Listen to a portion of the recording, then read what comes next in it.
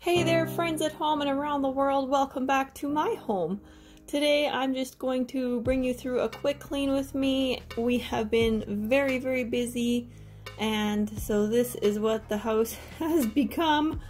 Uh, we've been busy slaughtering, and whenever I'm not doing that, I've been trying to get out into the bush to hunt some deer, so it has been very, very busy, and the house has been somewhat neglected, so that is hopefully going to change today. It will change, I promise. You'll see it. it's going to change. So I'm going to start off here. This is just going to be a quick kitchen clean with me and some regular chores like the eggs and whatever. So, yes, I hope you are going to be filled with a lot of inspiration and because I don't want that inspiration to wear out, I'm going to try to keep this video very quick.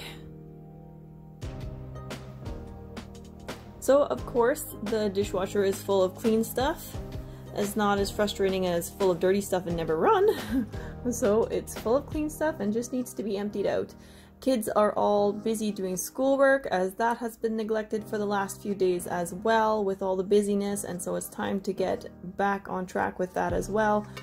So I've cut out I think all but one of the times where I was continually running back and forth to help them with their schoolwork, which is why I try very hard not to get anything going, not even to get into any cleaning like this because I want to be fully available to them when they need me for school, and I find my patient runs thin very quickly if I'm trying to do something else as well. So, whatever I choose to do, I can't have a big to do list for myself or an agenda. I need to be able to stay calm. So, anyways, that's just me. That's what's going on here today.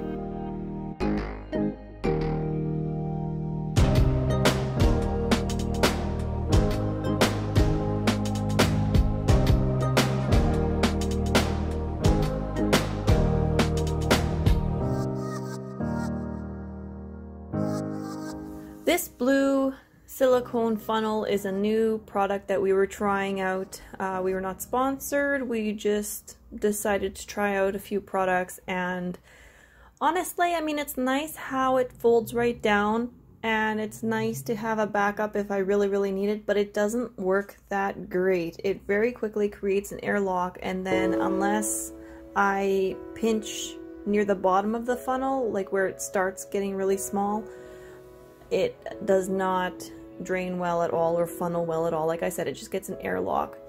So that's been kind of frustrating, but it is nice to have a backup, which, you know, even though it's not great, it's better than nothing.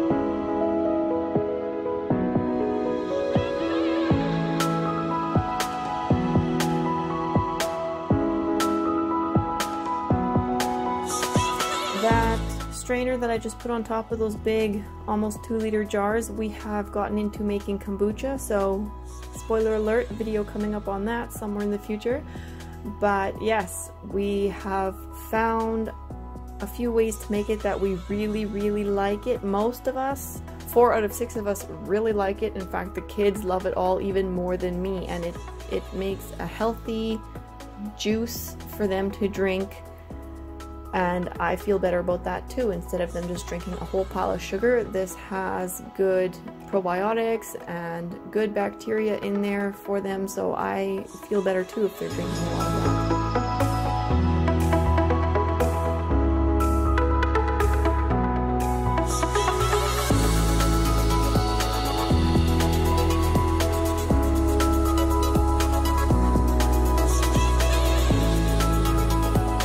that. needed again soon. That's why it's staying there. Now, this is a barbecue set that Mark has ordered off of Amazon, I believe. And we're always looking for a better, stronger barbecue brush. So if you look behind me there by that honey pail that we use as an egg pail, there's a barbecue brush and a spare bristle part but it also came with all this other stuff skewers and a little utility thing there with corkscrew and knives and little tools, flippers, forks, this little salt and pepper set, which I'm not sure what I'm going to do with because I really didn't need another salt and pepper set, but there have been other parts of it that were really that have become really, really handy, like that digital thermometer that's sitting beside the sink waiting to just be sanitized. It also came with these straws that I was just putting into the cutlery rack. Two of them are straight stainless steel and the other two are curved. So the kids are really liking those. It came with so much stuff and it was only 60 bucks Canadian. So I, you know, I don't know what the thoughts are of everybody else, but I thought that was pretty impressive for everything that we got. We have paid not more than that, but we've paid a pretty good chunk just for a good barbecue brush in the past. And so to get all of this yet, oh, and I forgot it also came with a basting brush for the barbecue and tongs. Yeah, so I'm impressed with everything that we've gotten in that set and I'm excited to see how it works. I have found out already that the little picnic fork and knife that came with it, um, the fork is fine, but the knife does not work very well at all. It works to push food onto your fork, but it's not great as a knife, you know, like it's not gonna cut your steak. I tried to just cut an onion and it did not do well at all. But I'm very excited for everything else that is in the set.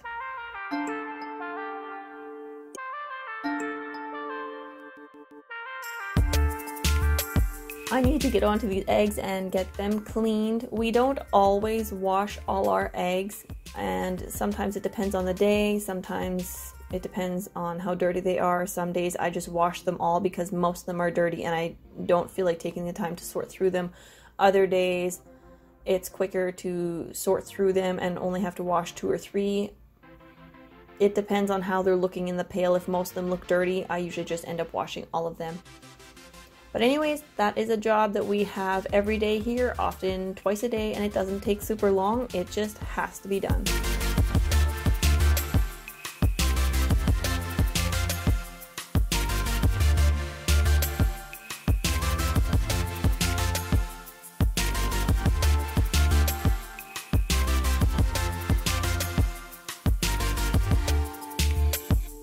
That pail that we're using for collecting eggs, it is looking pretty nasty already, so I wasn't sure if I wanted to wash that inside, and I chose not to. I told the kids that the next time they go outside, they should just go open up the tap on the house and give it a quick rinse outside so all the junk can go outside onto the ground and not down my drains.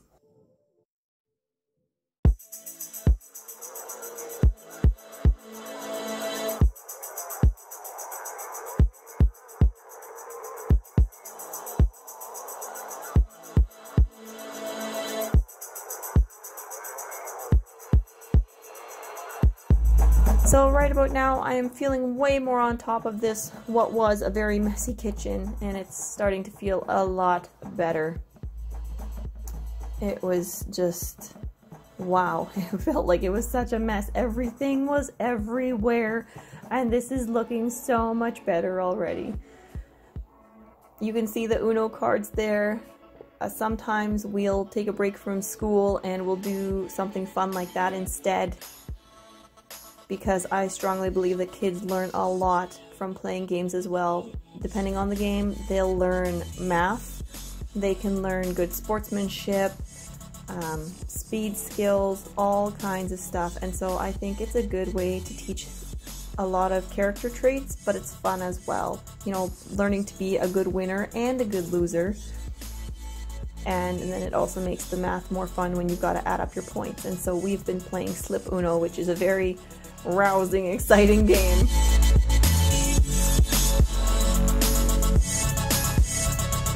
So here's something I'm getting ready to experiment with. Whenever I'm frying bacon, I'm keeping all this bacon grease or fat. And I've heard and read in the past that that is what pioneers used to make their soap because they didn't always have lard on hand. A lot of pioneers were moving across the states or across Canada and they didn't have pigs, you know, they couldn't take those pigs with them in the covered wagons and the pigs couldn't travel that far and so a lot of the times they didn't have pigs that they could slaughter and get lard from and everything and they couldn't carry that with them all the time either and so I've heard and read that they used bacon grease. And I figure, you know, what's the worst that's going to happen? My soap isn't going to turn out I'm not concerned. That's a very small loss for learning something new and for teaching my kids that sometimes the best way to learn is just to try. Now that we know how soap should turn out and we've made soap for a couple years, I'm okay with possibly having a failure. In my opinion, that happens with cooking too. If you're not ever going to try something new or push yourself, you're not going to learn anything new either. So that's just my take on it. Hopefully, that encourages you to try something new, but that is my goal to just keep learning. Alright, and last but not least, I'm going to quickly get this oven polished up here. I am just using straight up baking soda. That is what I've been using to clean my oven for the last couple years.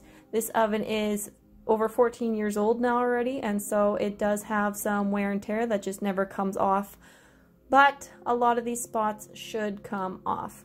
I do find, and it's not just the baking soda with this either, um, I've experienced this with commercial cleaners too, but I do find that after I'm finished cleaning the oven, I will give it a good wipe twice with my dishcloth because there always seems to be a little residue that stays and as the dishcloth gets full of the baking soda after wiping once, it can't hold enough to continue to clean and so I give it a second wipe just because I don't want to turn the oven on and I don't know, risk baking baking soda onto my elements. So that is it guys, thank you so much for watching. I hope you got a quick little shot of motivation here so that you can now get on with your day. I don't want to suck you into YouTube and get you stuck here, so please have a fantastic day and I'll see you in the next one. Thank you so, so much for watching. Bye everyone!